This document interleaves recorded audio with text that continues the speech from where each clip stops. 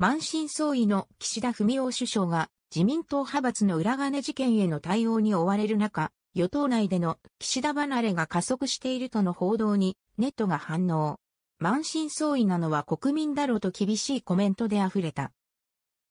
時事通信が30日、満身創痍の岸田首相、岸田離れ加速との見出しで配信した記事では、本年度予算が28日に成立したものの、自民党派閥の裏金事件の真相は見えず、世論の逆風が収まる気配はない状況を解説。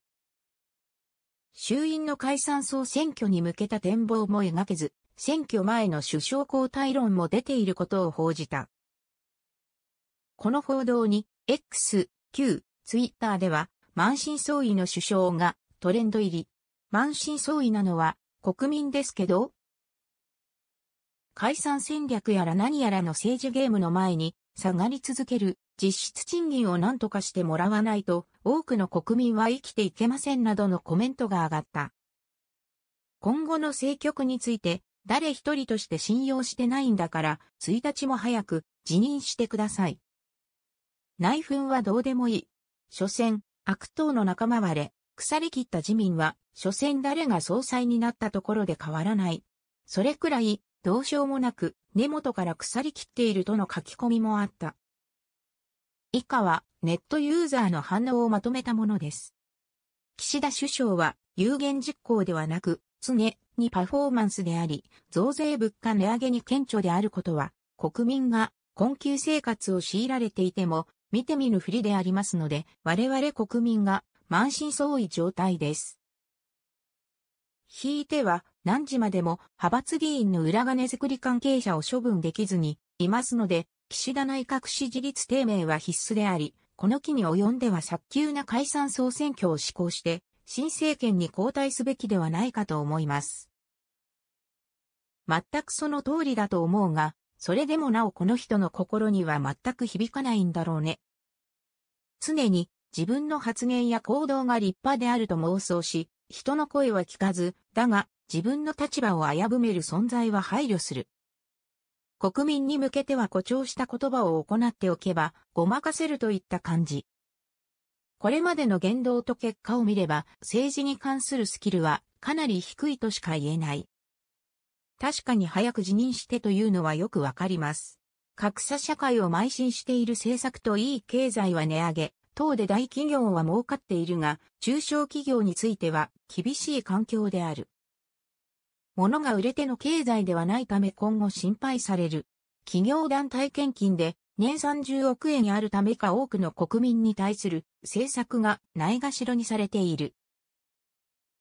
自民党が一強であるため誰が総裁になったとしても流れは変わりづらいのかも。それであっても早く辞任していただきたいと思っています。まあ財政をやりくりするということをまるで考えず、増税に次ぐ増税でエクストリーム増税政権になっていますからね。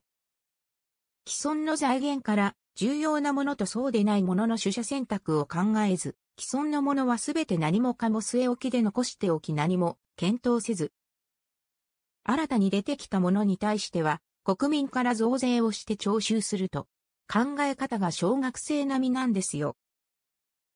仮にも政治家を名乗るつもりがあるなら政治をしてください。追加で出たものは追加でお金を取るなんていう稚拙な判断ばかりしていて、今まで生きてきた人生を振り返って恥ずかしくないんでしょうか。